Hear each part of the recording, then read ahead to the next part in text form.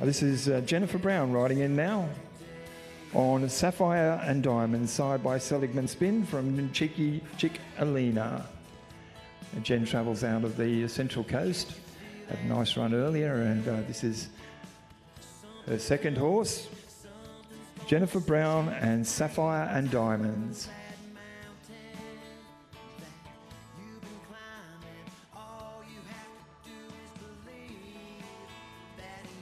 Performing the first of two large fast circles to the right.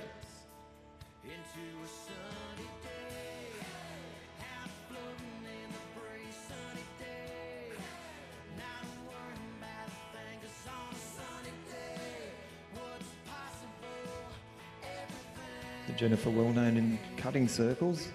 And she's performing some nice circles here in the rein work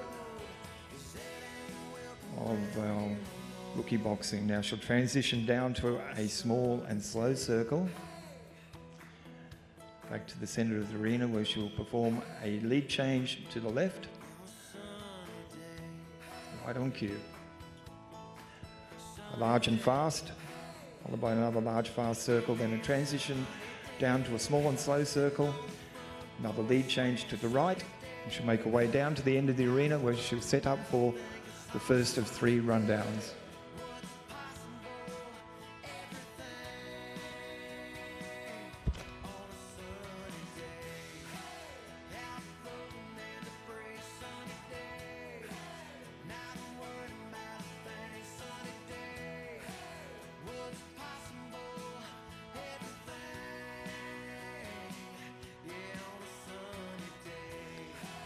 Here's the next lead change to the right. Formed by Sapphire and Diamonds with uh, Jennifer Brown in the saddle. First of three rundowns down the centre of the arena past the end marker where she'll perform a sliding stop and set up to do three and a half spins to the right.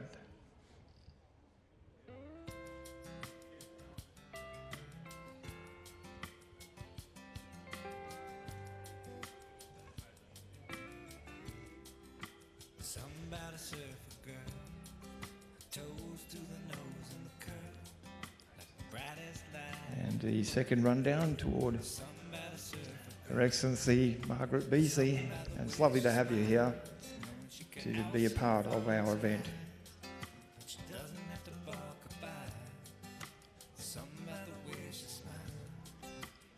Three and a half spins to the right.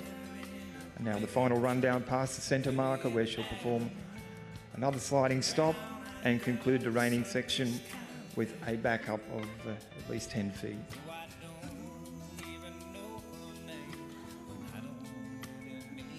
And that's the reining component finished. We'll move down to the bottom end of the arena and take on the cow in the fence work, the cow work.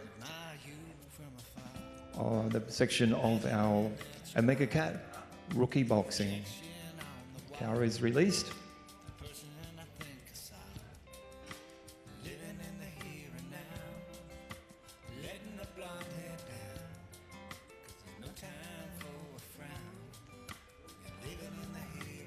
Jen steps up.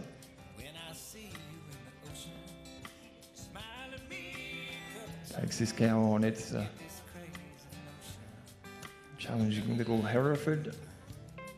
And there's been great cattle that have been provided to us by Byron Hubbard of Ballarang Station. Certainly not possible to have an event like this without such great cattle.